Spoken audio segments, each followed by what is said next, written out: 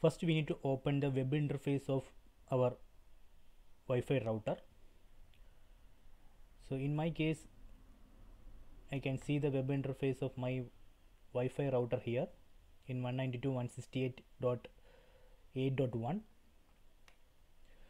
so in your case if it's not working you can try 192.168.1.1 or 0.1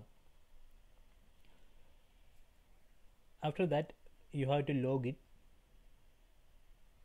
enter admin username and admin password. Then go to settings then go to dial up and find profile management.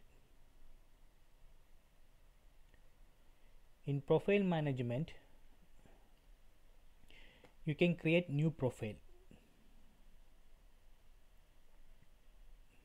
name you can give any name.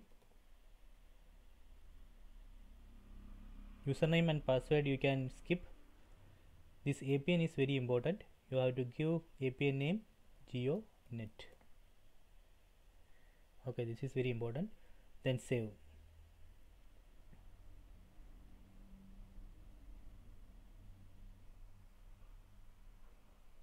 Then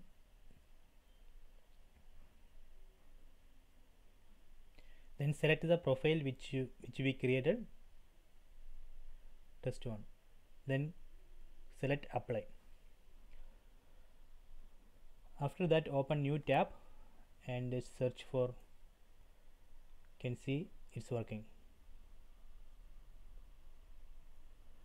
So if you are in roaming go to mobile connection.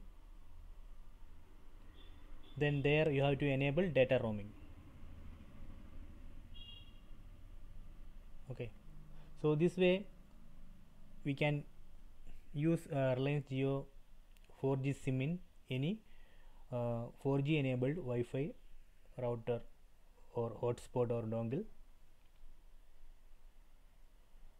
So only thing is you have to set APN to JioNet okay